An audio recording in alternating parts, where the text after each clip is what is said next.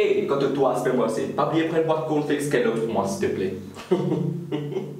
Est-ce qu'il te tu connais cornflakes et spécialement Kellogg's, tu as inventé pour lutter contre la gratification personnelle? Qui était Oui, parce que du monde tu peux trop castir.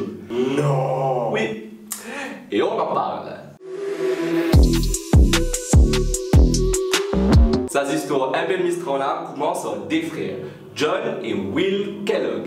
Et comment dans toute famille, bizarre, a un frère là-dedans qui est un peu bizarre. Même si c'est la maison de maman pour dire Et dans la famille Kellogg, c'était John. Ou plus précisément, le docteur John Harvey Kellogg. Oui, oui. Il est assisté pour qui tout le monde qui cause, il appelle docteur. Même son frère. Bref.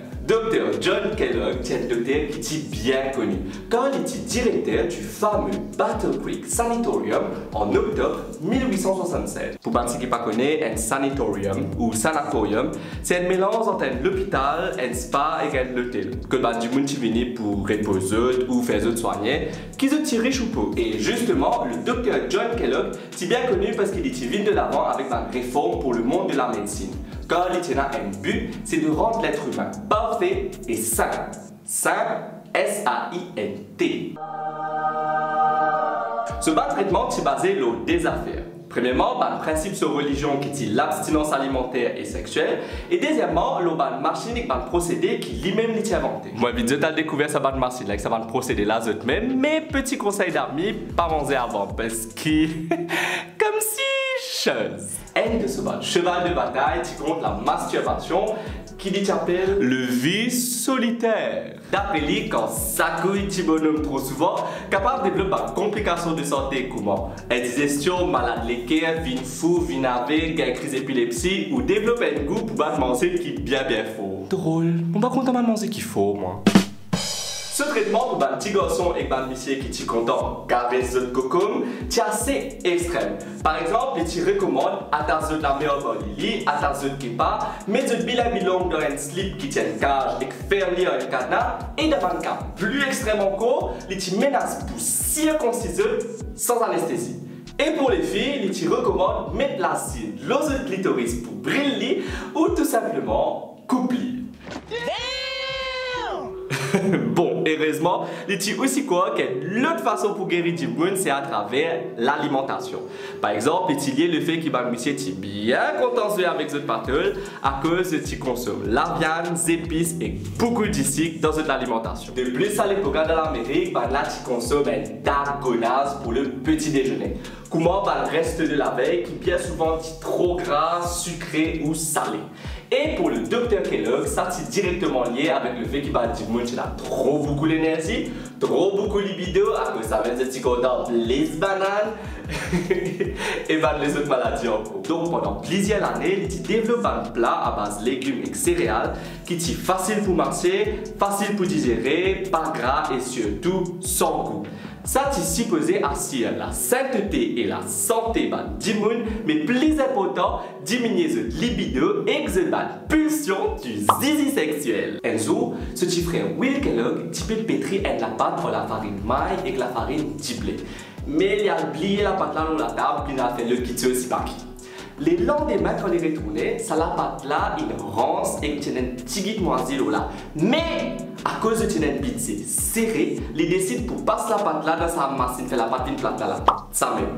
Et il décide pour mettre dans le four quand même. Et là, une affaire qui jamais l'ont trouvé arriver. La pâte là est sortie en petit bout petit bout, crame crame, mais sans goût. Et quand Dr. John trouve ça, il trouve ça marré intéressant. Et il décide pour servir ça ce ban patient. Et ce ban patient, il trouve ça marré Et à partir de là, sa découverte là, crée la guerre entre sa deux frères là. Déjà, Dr. John Kellogg dit qu'il crée ça. Il même a mis un brevet le Cornflakes le 31 mai 1895. Et il recevra ce brevet le 14 avril 1896 et le brevet là, il a 10 secondes. Pendant un petit moment, je mets ce différent de côté et je commence commercialiser. Première année, je récit vend presque 20 000 kilos.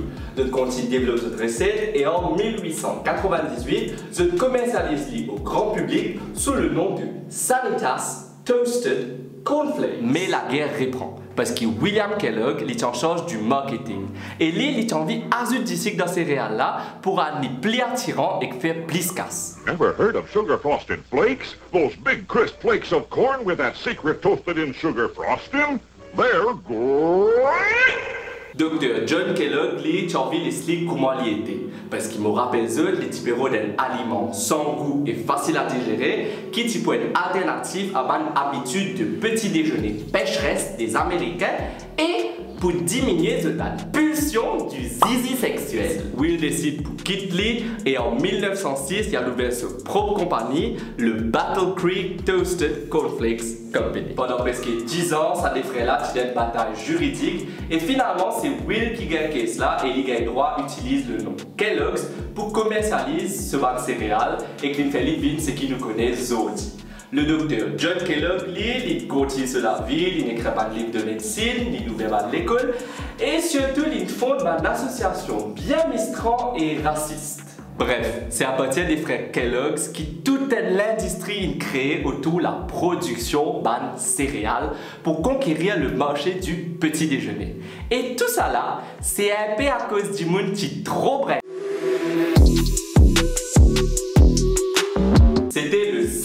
Épisode de Quiété. J'espère vraiment qu'il vous a plu et si vous avez des idées de thèmes, n'hésitez pas à les mettre en commentaire et peut-être que j'en ferai une vidéo avec. Quant à moi, je vous dis à la semaine prochaine pour un autre épisode. Ciao L'équipe Pop TV compte les autres pour respecter les gestes de barrière et protéger les et les familles. Nous pouvons pour jusqu'à la fin.